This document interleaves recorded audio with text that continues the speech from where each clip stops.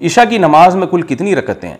अगर ईशा की नमाज़ में पंद्रह रकतें पढ़ी जाएँ, लेकिन वितर के बाद वो नफिल ना पढ़े जाएँ तो इसमें कोई हरज तो नहीं है।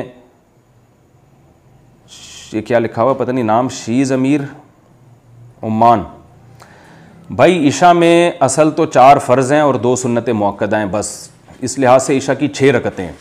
चार फ़र्ज़ और दो सुन्नत मौक़दा वितर जो है, वो तो रात की नमाज़ है, उसका ईशा से बरह रास्त ताल्लुक़ नहीं है। तो ये टोटल हैं, चार फ़र्ज़ पढ़ लिए, दो सुनत पढ़ लिए और वितर अगर आप जल्दी पढ़ना है बेहतर तो ये तहजद में पढ़े जाएँ, उठने का यकीन ना हो तो फिर आप पहले ही पढ़ लें तो बस इतना काफ़ी है। बाकी तो गरीबियाँ हैं। हदीस में आता है बई नकुल्ली अदा नई सलातन सही हदीस है। हर दो अजानों के दरमियान नमाज़ है।